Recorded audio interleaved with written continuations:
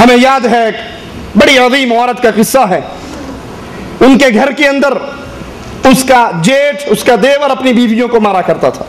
और ये इसका खामिद उसको उंगली भी नहीं लगाता था।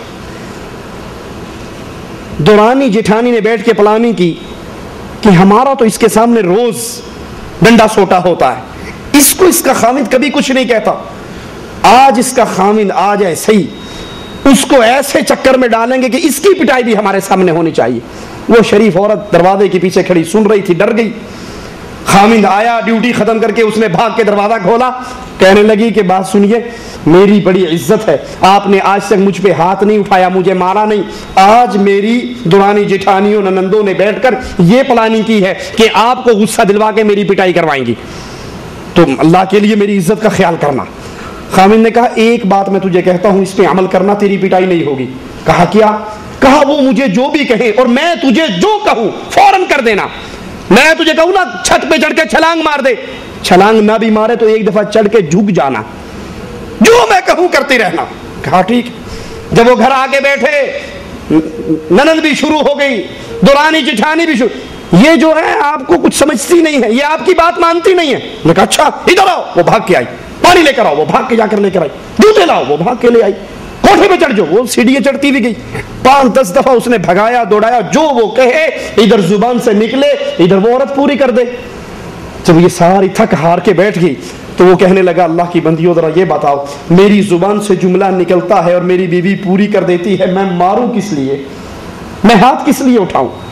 जिस घर के अंदर औरत अपने आप को खामिंद की खादिमा समझ ले कि जो मेरे खामिंद ने कहना है, मैंने उस पर अमल करना है, बशर्ते कि वो अल्लाह और उसके रसूल के हुक्म के खिलाफ ना हो। ऐसे घर में सुकून रहा करता है। और इसीलिए रसूलुल्लाह सल्लल्लाहु अलैहि वसल्लम ने खामिद को औरत के लिए जन्नत कहा है या जहन्नम कहा? औरत के लिए उसका खामिद उसका मर्द या उसकी जन्नत है, या उसकी जहन्नम है। अगर उसके हुक्मों की ताबेदारी करती है, ये उसकी जन्नत है। और अगर ये उसकी मुखालफत करती है, रसूलुल्लाह सल्लल्लाहु अलैहि वसल्लम ने फरमाया, कोई औरत इस हाल में फोत हो कि इसका खामिन इससे राज़ी हो, ये सीधी अल्लाह की जन्नत में दाखिल होगी। ए मुसलमान बीवी, इसके बरक्स ये ना हो कि इंसान अपने घर में आए, उसको घर कचरे का ढेर नज़र आए।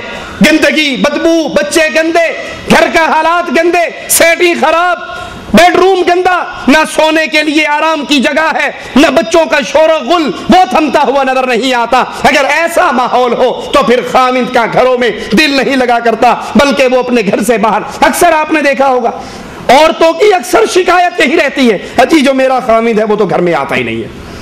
वो दोस्तों में रहता है, वो बाहर रहता है। अल्लाह ने तुझे हलाल जादू के वो वो तरीके दिए हैं तो उसको इस्तेमाल क्यों नहीं करती? तेरा खामिद घर में आए, उसका इस्तकबाल करो। बेहतरीन कपड़े पहन के, बेहतरीन जेवर पहन के, हाथों में फूल, फूलों के गजरे पहन के, मुख्तलिफ़ अंदाज से अपने खामिद को अपना बनाने की तरफ़, अपनी तरफ़ रागिब करोगी। यह खामिद एक लम्हा भी घर से बाहर जाया नहीं करेगा। और जब उसको घर में सुकून नहीं जब उसको घर में ना वक्त पे खाना मिलता है, ना उसको कपड़े इस्त्री किए हुए मिलते हैं, उसको हर चीज़ बाहर से करवानी पड़ती है। वो कहता है जो हर काम बाहरों करवाना तो टाइम भी फिर उते लावा। इसलिए वो घर का रुख नहीं करता। शोहर की मोहब्बत हासिल करने का दूसरा तरीका यह है, औरत अपने खामिन के लिए जेब जीनत करे, मेहंदी लगाए, शोहर के लिए बने सवरे, अपने आप को दुल्हे के सामने खूबसूरत अंदाज में पेश करे। दुल्हे के सामने का मतलब ये ना समझना कि ये शादी के चंद महीने की बात है। ये शादी के चंद महीने की बात है। जिस औरत ने अपने खामिन को अपना बनाना होता है, वो सदा दुल्हन ही होती है। जो औरत अपने आप को अपने घर में सुकून के साथ ज़िंदगी गुजारना चाहती है, वो सदा दुल्हन ही होती है। उसका खामिन सदा दुल्हा ही होता है। जब उसको इस अंदाज में डील करती है तो घरों में सुकून होता है। उससे प्यारी बातें करे, उसका दिल मोए, उसके साथ अच्छी अच्छी गुफ्तगु करे। अगर उसका हंसने का मूड है तो हँसी मज़ाक की बातें करे। अगर उसको गुस्सा आ रहा है, अक्सर औरतों को देखा होगा खामिद को जितना गुस्सा आएगा, औरत उतना खुश होगी। चंगा चंगा पापड़ बल्ले ने किसे पास आज।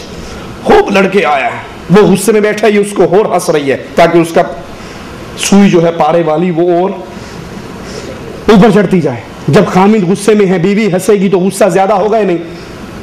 खामिद का हँसी मूड, का मूड है, हँसी मज़ाक का इरादा है, और वो बीवी अब उसे बात का जवाब नहीं देती। वो कोई शेर पढ़ता है, उसका जवाब, वो अच्छा जुमला कहता है, उसका जवाब नहीं। वो मीठी बात करता है, उसका जवाब नहीं। उसका मुँह गोभी के फूल की तरह फूला हुआ है। तो क्या ख्याल है? ये खामिद के दिल में इज़्ज़त का ज़रिया बनेगा? ये खामिद के दिल में सकून का ज़रिया बनेगा? महमूद गजनवी रहमहुल्ला उनका एक गुलाम अयाज था। बाकी जितने वज़ीर थे अयाज से बड़ा हसद करते थे कि बादशाह इसका बड़ा ख्याल करता है।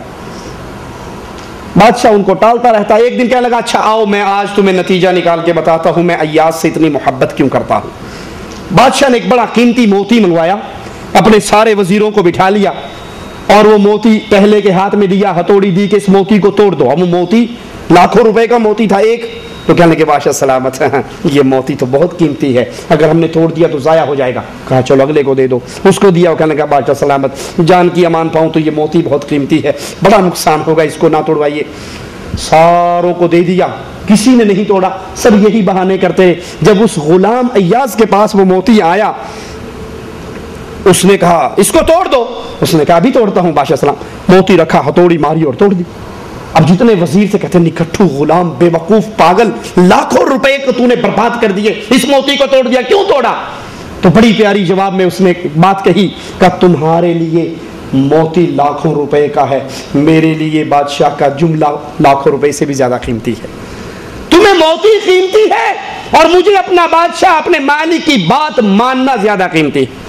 बीवी इज़्ज़त तभी पाती है जो खामिद कहता जाए, ये उसके सामने सर झुकाती जाए। कितनी भी कीमती बात हो, सबसे कीमती बात यह है कि बीवी अपने खामिद के सामने झुक जाए, अपने खामिद का ख्याल रखे, उसकी हाँ में हाँ बनाए उसके लिए तैयार हो, उसका इस्तेमाल अच्छे तरीके से करे, जब इस तरह करेगी, आप देख लीजिए शादी के पहले अयाम शादी के दो, चार, तीन महीने, वो मियाँ बीवी के बड़े अच्छे गुजरते हैं। क्यों? उन तीन, चार महीने, छह महीनों में बीवी अपने खामिद का बहुत ख्याल रखती है।